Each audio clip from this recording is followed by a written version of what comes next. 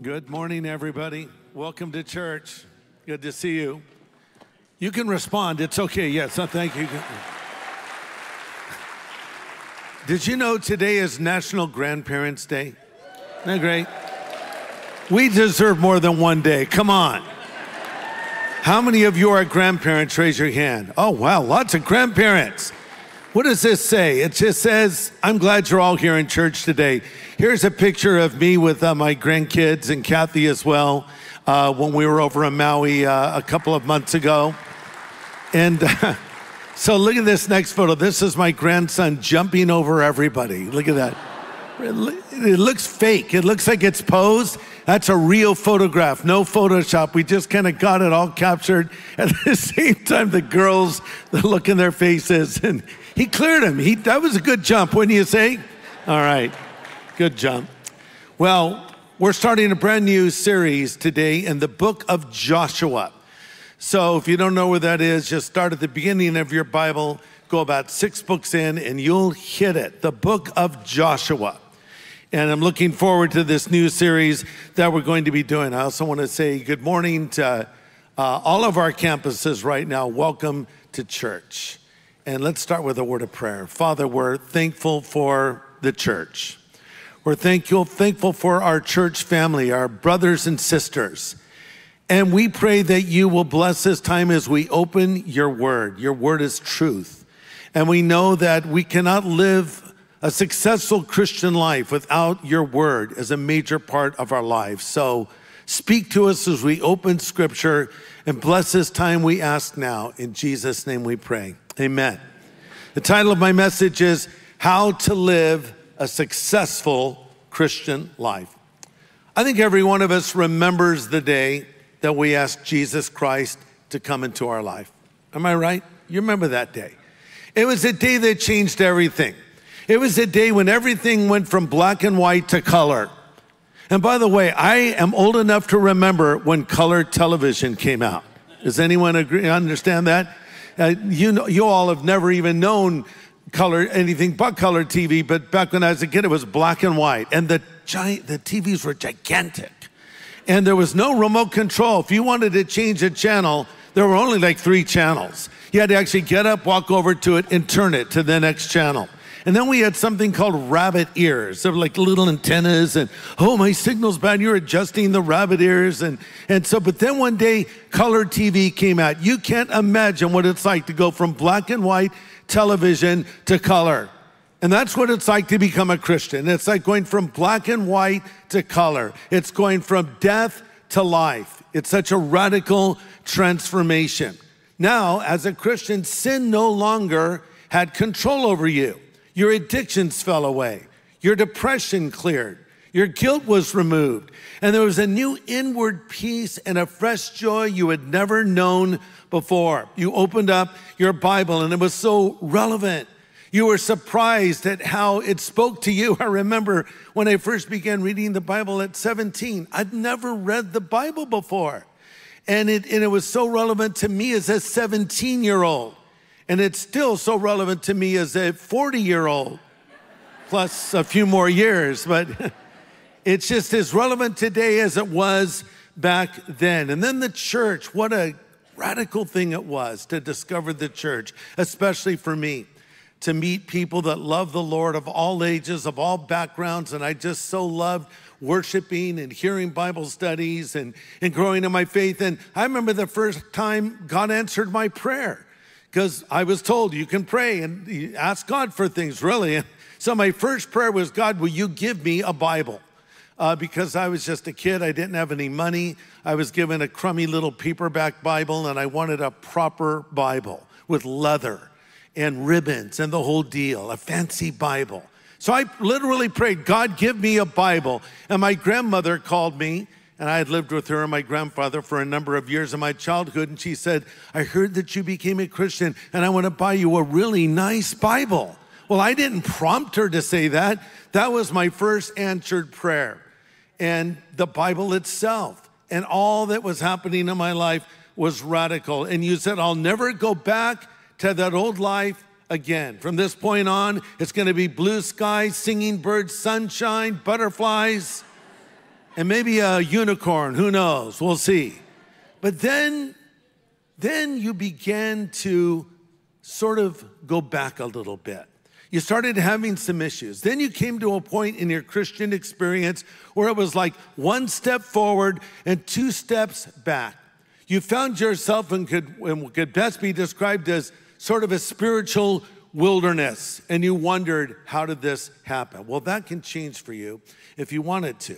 So, the book of Joshua is a story of the end of the wilderness wanderings of the Jewish people and their entry into the promised land. We, fee- we find out how they entered into the promised land. And for us, it's a land of promises. That's why we've called this series Joshua Living in the Land of Promises.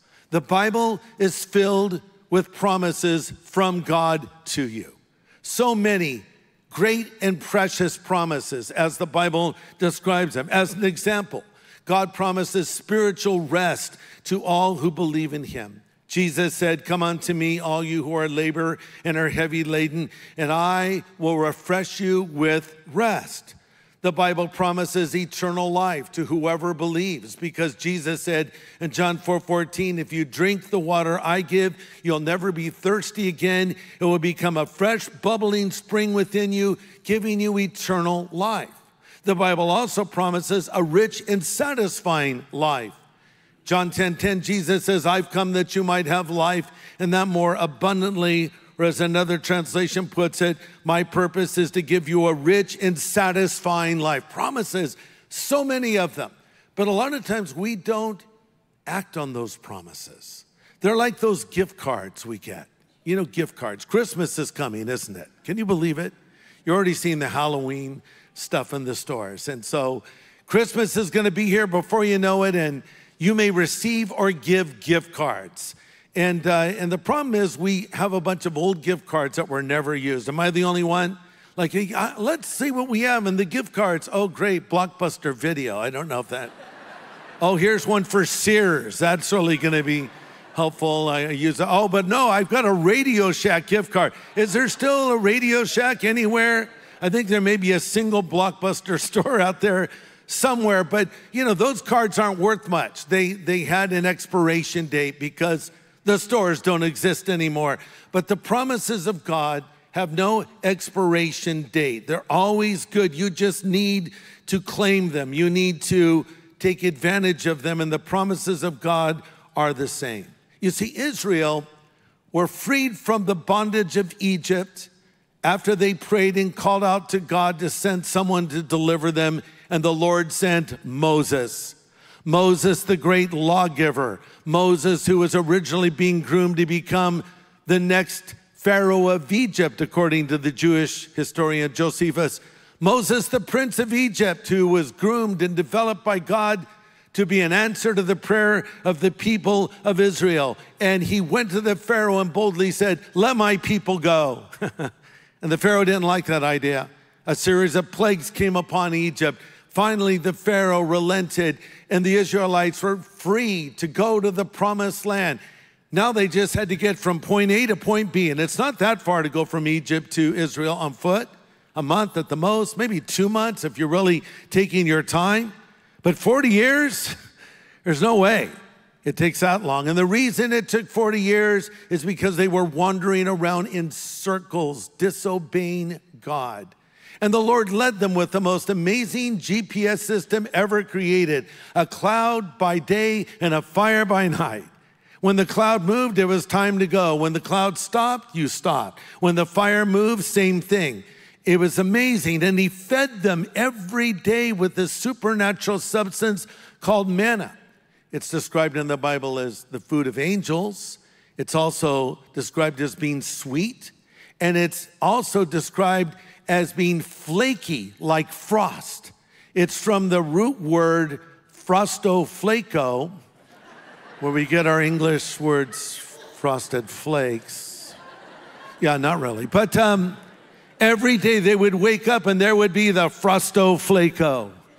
There would be the manna. Scoop it up, enjoy it, eat it. God would provide for you everything they had, they needed, but they disobeyed God and they started wandering around in circles. And we can do the same thing, can't we? We start taking the blessings of God for granted. We find ourselves going around in circles instead of going forward. And here in the book of Joshua, you can find how to get out of your wilderness into the land of promises. Commenting on what happened to the people of Israel in 1 Corinthians 10, Paul wrote this These things happened to them as examples to us. They were written to warn us who live at the end of the age. That's very important. So Paul's saying, these words are for us living at the end of the age, us who are waiting for the imminent return of Jesus Christ. And we just talked about that in our last series. And he continues on. If you think you are standing strong, be careful not to fall. The temptations in your life are no different than what others experience, and God is faithful and will not allow that temptation to be more than you can stand. So when you're, when you're tempted, He'll show you a way out that you might endure. So again, these words are written to believers living in the last days. He brought them out of Egypt to bring them into the promised land. We're told in Exodus 22, God speaking, I brought you out to bring you in. And in the same way, He wants to bring us into this land of promises, into a land as a follower of Jesus where we have victory over sin. Now, listen, that doesn't mean we live a sinless life, it doesn't mean we don't fall short. It doesn't mean we don't stumble and fall here and there, but we're no longer living in a pattern of sin. We're no longer dominated by sin. This can be your present Christian experience if you want it to be.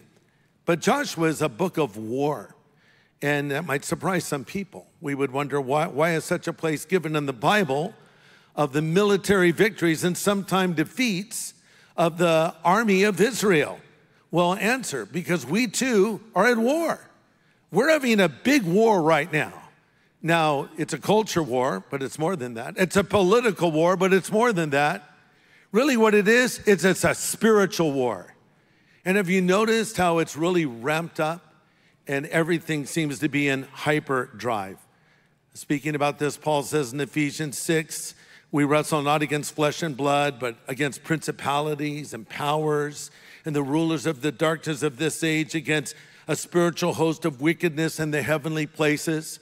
As a modern paraphrase puts it, this is no longer a weekend war that you can walk away from and forget about in a couple of hours. This is for keeps, a life or death fight to the finish against the devil and his angels. Listen, the devil knows Jesus is coming.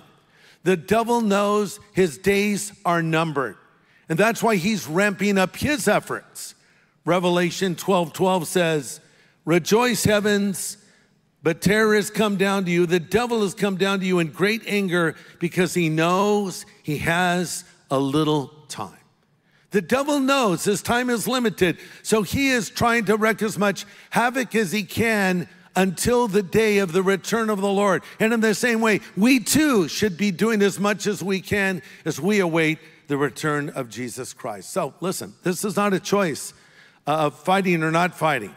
Uh, this is a choice of victory or defeat, advancing or retreating, winning or losing. Now you might say, well, I'm a pacifist man, and I drive a Prius with my cat, wearing a mask all by myself. Because I might get COVID in the car from something, I don't know. Look, you gotta, it's time to man up, woman up, if you will, and be courageous and get in this battle. And instead of losing ground, start gaining ground, right?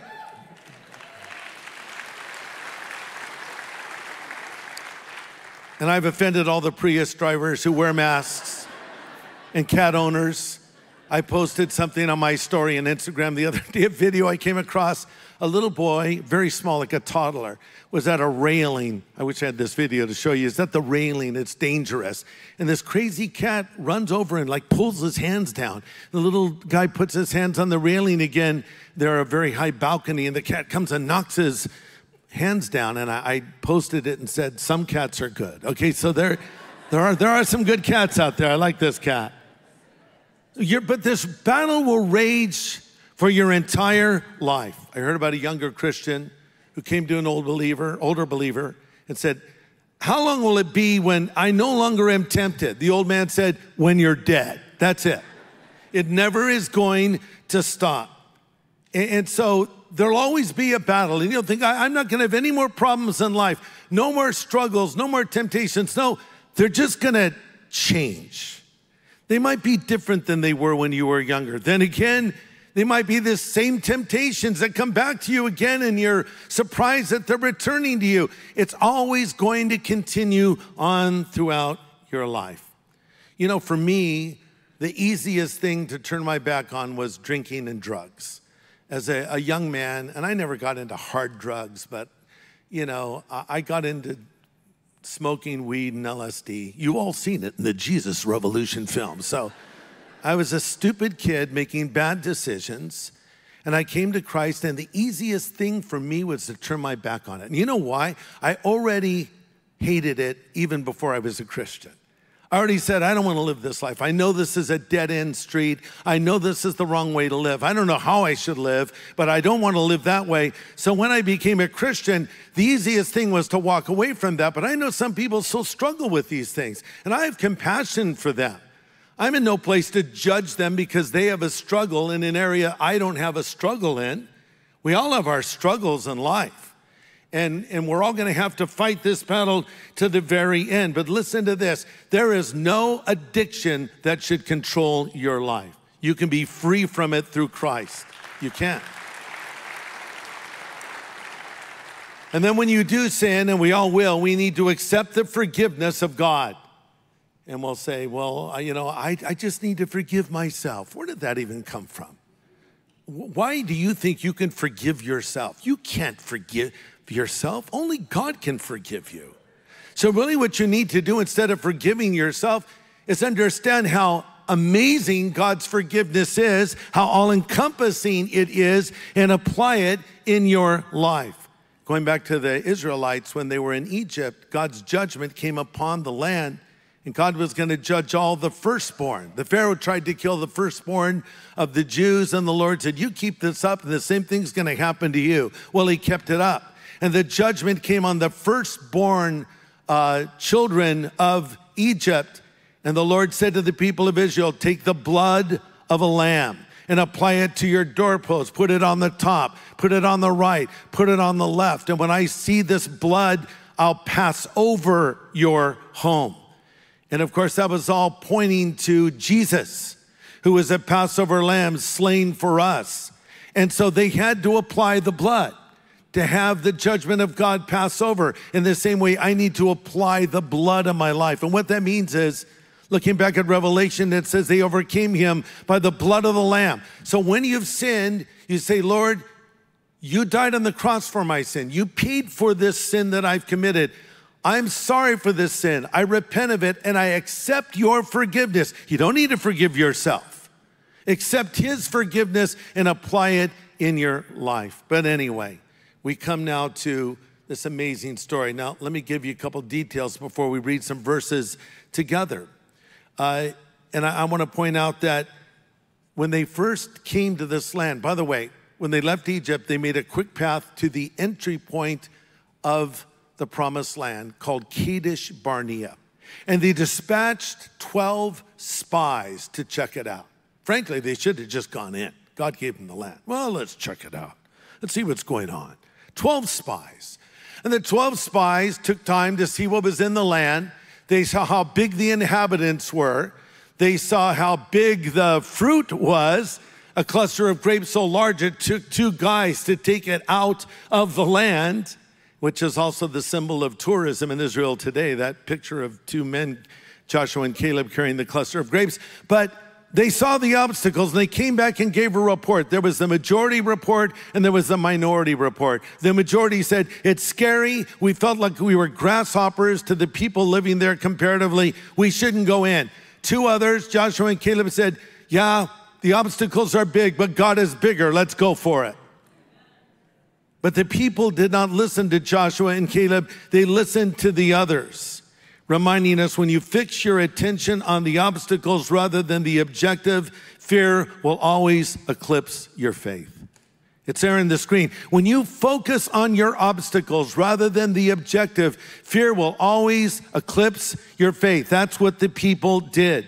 Because of that, the Lord said, None of you are going to enter into this promised land except Joshua and Caleb. That brings us to Joshua chapter 1. I'm going to read verses 1 to 4. Why don't you read along with me? I'm reading from the New Living Translation.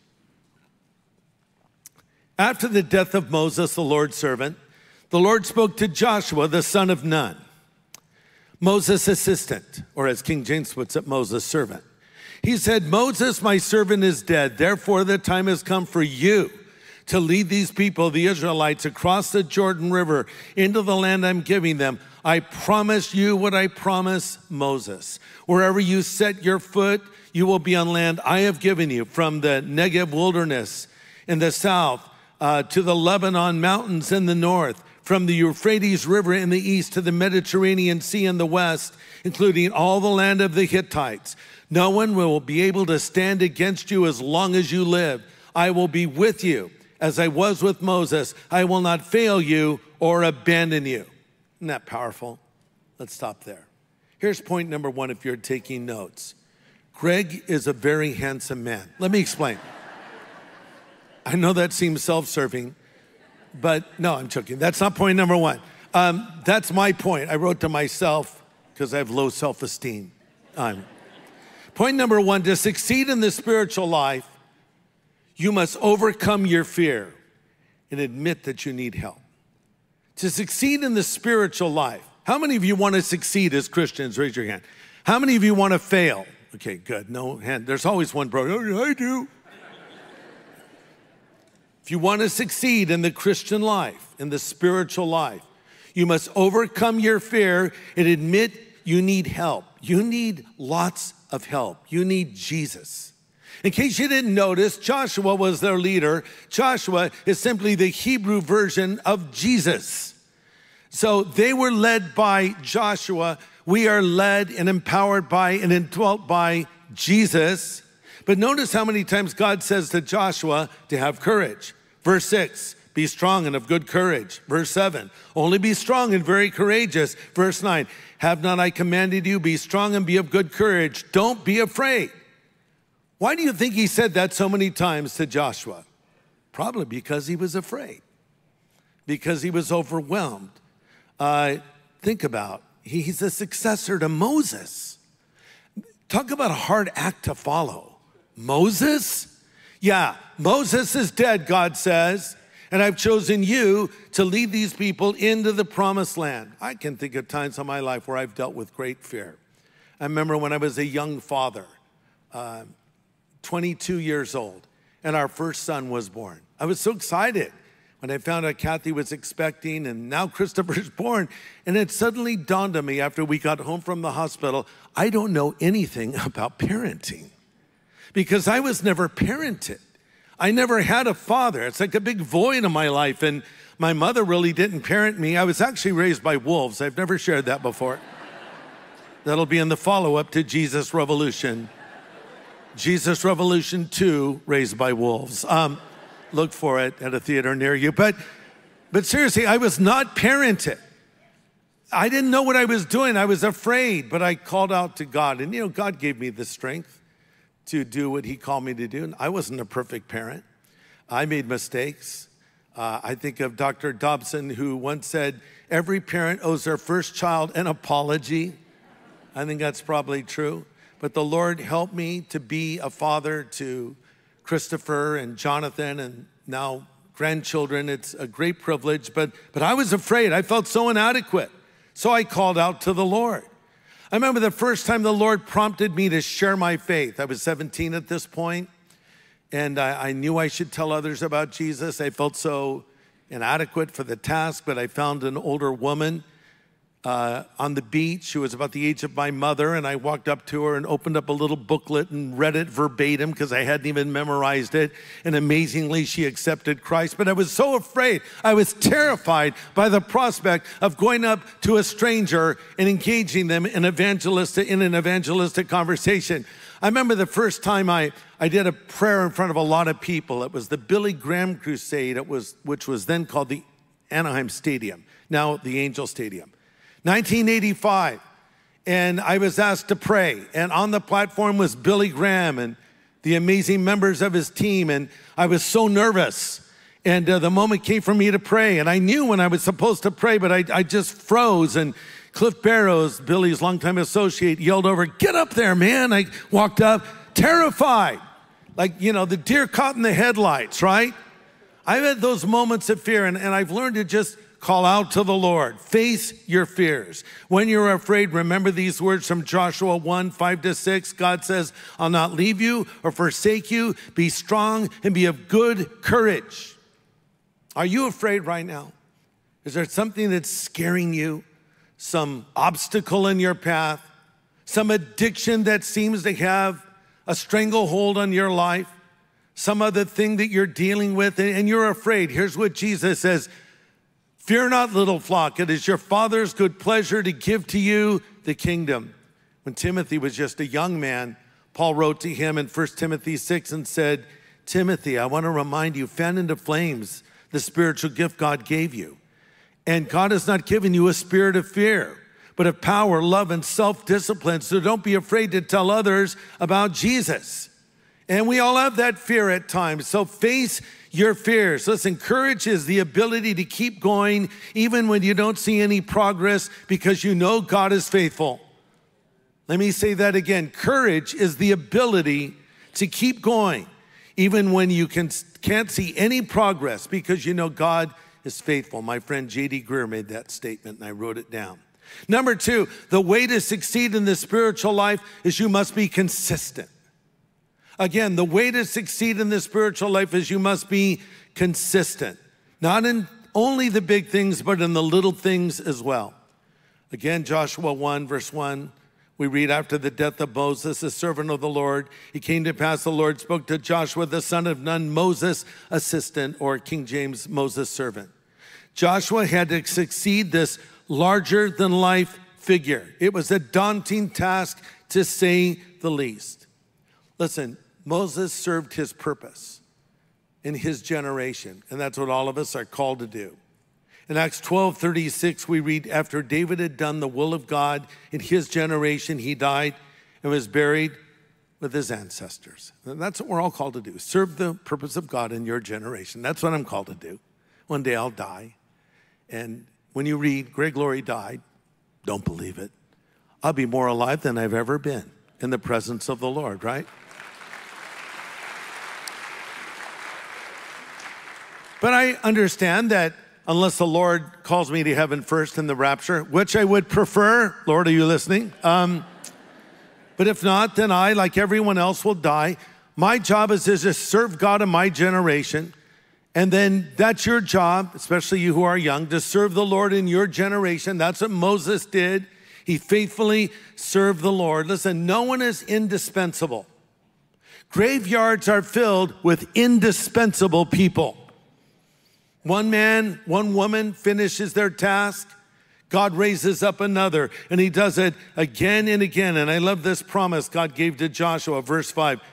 No man shall be able to stand before you all the days of your life. As I was with Moses, I will be with you. I will not leave you or forsake you. And God is with you as well, isn't he? Jesus said, When two or more are gathered together in my name, I'm there in the midst of them. Uh, he also said, Lo, I am with you even to the end of the age. And think about Joshua. Here, here's a guy that he just served behind the scenes. I mean, he, he was kind of like Moses' personal assistant. Wherever Moses went, Joshua went. He didn't know he was being groomed to be the leader. But if you want to be a good leader, you have to first be a good follower. You have to learn how to help and support others. So it's not always about you, it's about the purpose, the bigger purpose the kingdom of God.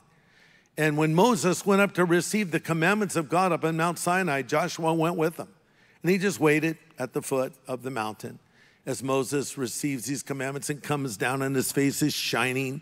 And Joshua says, Hey, man, Moses, things are not sounding good back in the camp. It sounds like there's a war down there. And they descend from this mountain, and there they find the Israelites dancing in front of a golden calf naked. Here is Moses receiving the commandments, and among those commandments it is stated, You shall have no other gods before me, you shall have no graven images. And here are the people dancing in front of an idol because Aaron was left in charge. Aaron was the worst babysitter in human history. The brother of Moses, left in charge, he effectively encouraged the people to do what they were doing. And then he had the audacity to say, I know this looks bad, but it's not my fault. We just threw our gold in the fire and this golden calf just came out. So what else could we do but strip off our clothes and worship it? I, none of this was true. He encouraged the people to bring their gold, and he was involved in, in making this golden calf that they were worshiping. But contrast Aaron and Moses. Aaron is irresponsible Joshua, excuse me, contrast Aaron and Joshua. Joshua's faithful in the little things, and now God's going to raise him up to greater things. Be faithful in the little things, and you watch what the Lord will do. Point number three if you want to succeed in spiritually, you must know and keep the Word of God. If you want to succeed spiritually, you must know and keep the Word of God. This is so important. Look at verse 8. This book of the law shall not depart from your mouth, but you shall meditate in it day and night, that you may observe to do all that is written in it, and then you will make your way prosperous and you will have good success. By the way, what God said here to Joshua is unprecedented in the Bible up to this point. Prior to this, God spoke to people. God spoke to Noah and told him to build an ark. God spoke to Abraham and told him to go to a land he had never been to before. God spoke to Moses to the burning bush, but for the first time, God says to Joshua, I'll speak to you through the book. And that's how God speaks to us today.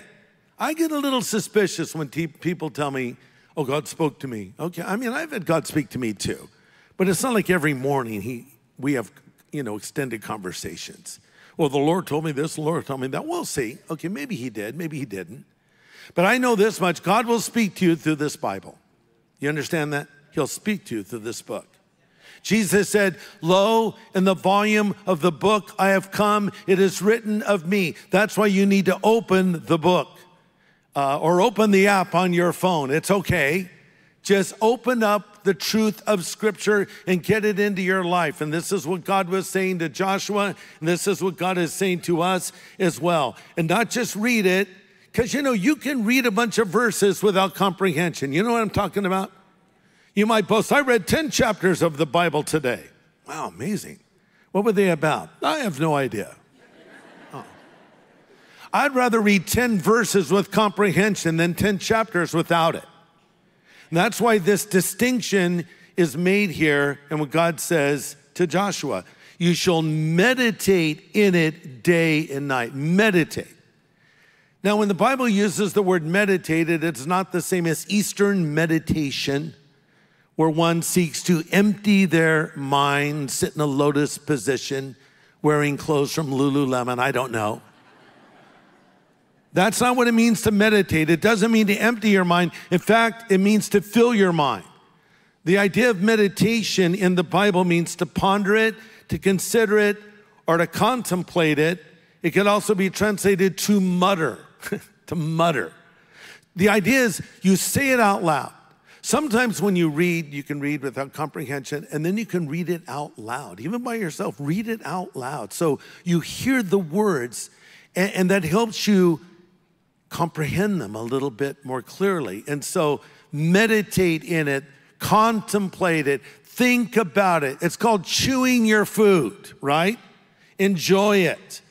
And the Bible encourages not only meditation, but lots of it. Psalm 1, I think, just sums this all up perfectly. It says, Blessed or happy is the man or woman that walks not in the counsel of the ungodly, or stand in the way of sinners, or sit in the seat of the scornful, but his delight is in the word of the Lord. Listen, in it does he meditate day and night. He will be like a tree planted by the rivers of waters that will bring forth fruit in its season. His leaves shall not wither, and whatsoever he does shall prosper. I memorized that when I was 18 years old. It's still with me today. That's why Bible memorization is so amazing, isn't it? The psalmist says, Your word have I hid in my heart that I might not sin against you. It's good to hide the word of God in your heart. You know, it's good to carry a Bible in your purse or in your briefcase or in your murse or man bag, whatever it is, we call those things. But the best place to carry the word of God is in your heart memorize it. don't tell me you can't memorize. I know you can.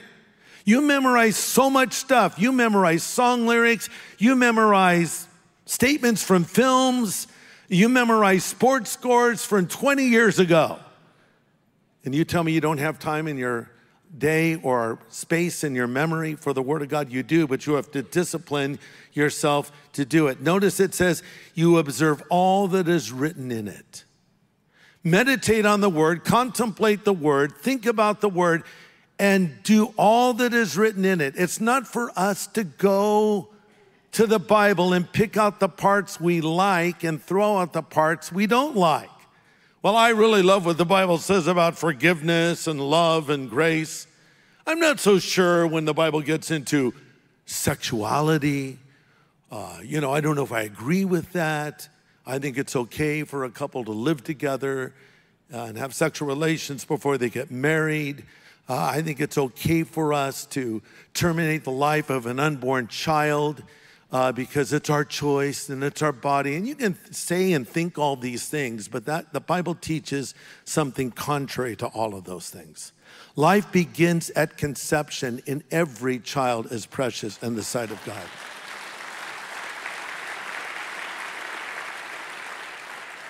And marriage is sacred.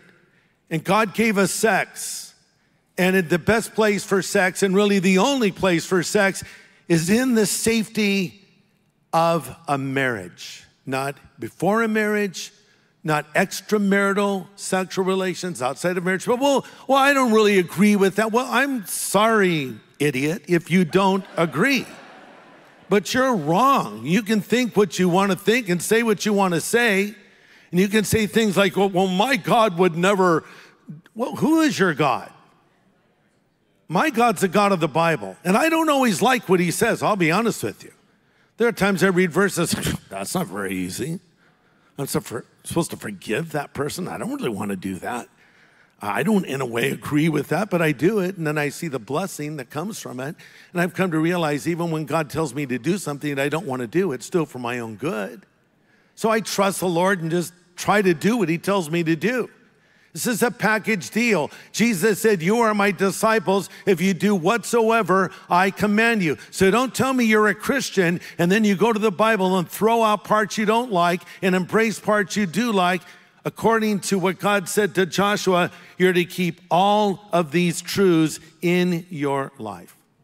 This is like the golden key of spiritual success or the password to unlock everything.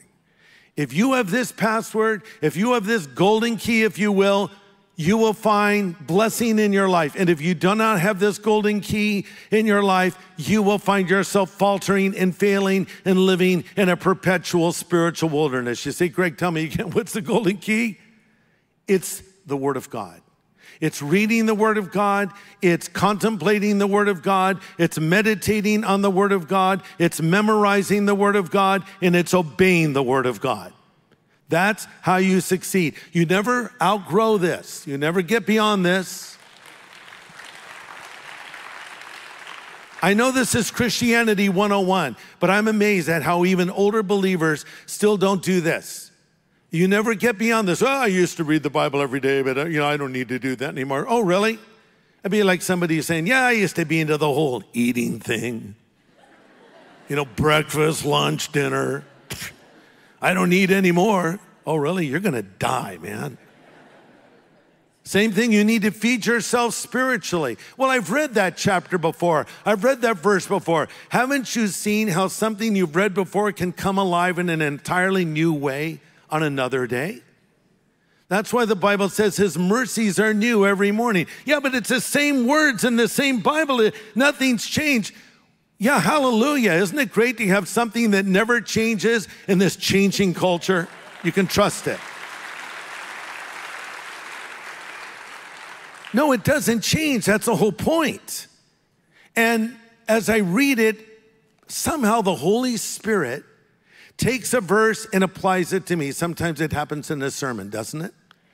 I've had times where I'm listening to someone preach and they just say something, it's like they're talking right to me. That was just for me. And I trust the Lord will do that for people when I preach as well and when you share truths from the Word of God with others. But it's all summed up in the parable of the sower where uh, Jesus said a sower went out to sow seed. A farmer went out and threw seed out. And back in those days, they'd just throw the seed out, it would go wherever. Some seed fell on the roadside, the birds came and ate it. Some seed fell on ground that was embedded with weeds, and the weeds overcame it and choked it. Uh, some seed fell uh, on shallow soil and shot up quickly and withered in the sun. And other seed fell on good ground and brought forth fruit. So that's called the parable of the sower. Only one out of four made it. It was a seed sown on good ground. And then he goes on to explain it. These are they, says Jesus, who hear the word of God and keep it. So if you want to be so good soil, if you want to grow spiritually, you hear the word of God and you keep it. So now let me sum this up and conclude. What is the golden key of spiritual growth? Hearing, receiving, and obeying the word of God. How can we enter this land of promises? Number one, to succeed in the spiritual life, you must overcome your fear and admit you need help, and lots of it. Face your fears. God is with you. He won't give you more than you can handle. There's always a way out of every temptation. Think about it. Always a way out. Always. No, I couldn't resist. No, you can. You could have. Sometimes the way out is as simple as the door or hitting the off switch or whatever it is you need to do. You take the practical steps. Um, let's say you have a problem with drinking. Okay, I get, I get tempted. Do you have alcohol in your house? Lots of it, tons of it. I have a wine cellar. I live in the wine cellar. Yeah. A bit of a problem. You have a problem with this? Pour it down the toilet and make sure you flush the toilet because the dog might drink it and get drunk. You don't want a drunk dog. Well, I have a problem with drugs. Get rid of your drugs. Can I sell them? No, do not sell them. Get rid of them. Take action. I have a problem with looking at porn on my phone. Oh, well, get a filter on your phone. Well, I, I have one, that I, I found a way around it. Get a flip phone. I don't care. Get, get rid of your phone, but, but deal with it years ago, we were staying in some house and someone gave us a big giant container of pretzels with peanut butter in them. Have you ever tried those? I'm not even a huge peanut butter fan, but there's something about a pretzel with peanut butter I really like. It's a salty and the save, you know, the sweet and the salty. So I ate one. Oh, so good. And so you eat it, it's okay. Then you go, oh, that was good. Then you have another, and like I'm into the, I don't know, I've handfuls now, just eating them. I couldn't stop myself. So I literally took this giant thing of pretzels. it's bad. I poured them in the toilet and flushed it. Cathe came out, Where are those pretzels? I flushed them down the toilet. You did not. You ate all of them. No, I did not. I flushed them down the toilet. Why? I was getting tempted. I couldn't stop. But sometimes you need to take radical steps. It's okay. Number two, the way to succeed in the spiritual life is you must be consistent. Not merely faithful in the big things, but in the little ones too. Be faithful in what God has said in your path. Be faithful with your finances. Be faithful in everything. Number three, if you want to succeed spiritually, you must know and keep the word of God. Study it, memorize it, obey it. Let me close with this. God gave to Israel that lamb. He said, Slay that lamb and put the blood on your homes. And then, in fulfillment of that, God sent his son Jesus. For God so loved the world, he gave his only begotten Son. And whosoever believes in him should not perish, but have everlasting life.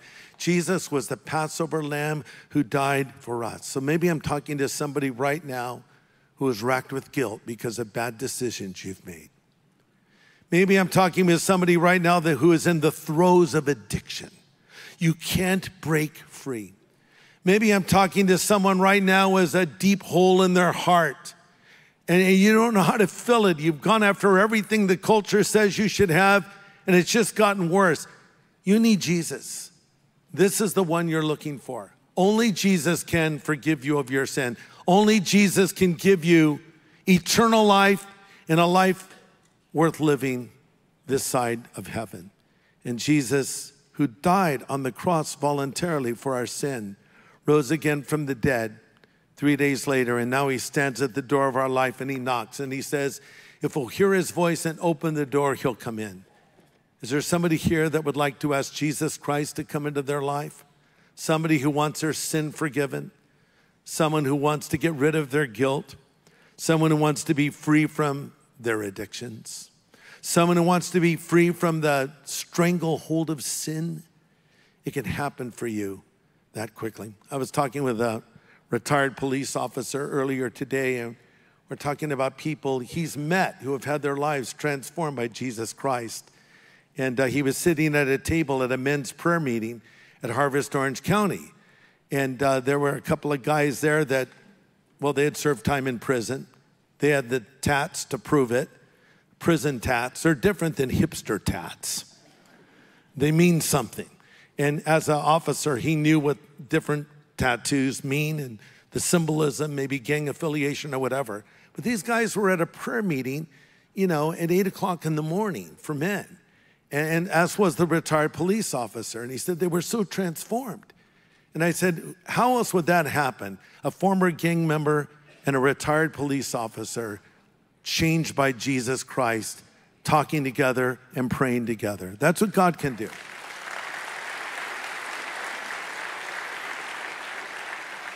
And everyone needs Jesus. Sure, the gangbanger needs Jesus, the criminal needs Jesus, the drug addict needs Jesus, the upright citizen needs Jesus, the relatively moral person who actually is still a sinner needs Jesus. Everybody needs Jesus.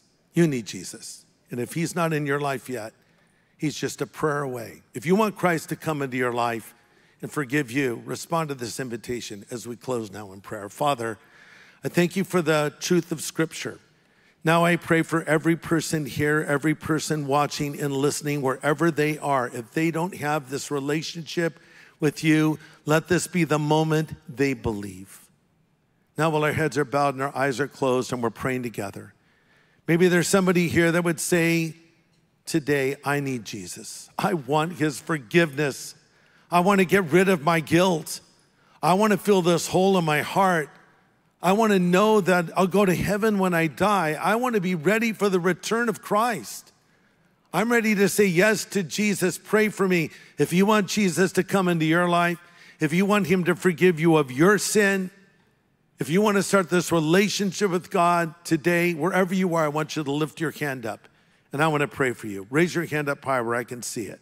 God bless you. I'll pray for you today. Raise your hand up. Let me pray for you today. God bless you. Anybody else? You want Christ to come into your life. Let's pray together and let's get this resolved. God bless you. Anybody else? Raise your hand up high. God bless you. Yeah, God bless all of you raising your hand. Some of you watching the screen, I can't see your hand, of course, but the Lord sees you. You can raise your hand too. Now, I want every one of you that raise your hand, I want you to pray this prayer with me. You could even pray it out loud. Again, as I pray this prayer, pray it out loud after me. Pray these words Lord Jesus. I know that I'm a sinner, but I know that you're the Savior who died on the cross for my sin and rose again from the dead. I turn now from my sin and I choose to follow you from this moment forward as my Savior and my Lord, as my God and my friend. Thank you for hearing this prayer, Jesus. In your name I pray. Amen. Amen. God bless you that prayed that prayer.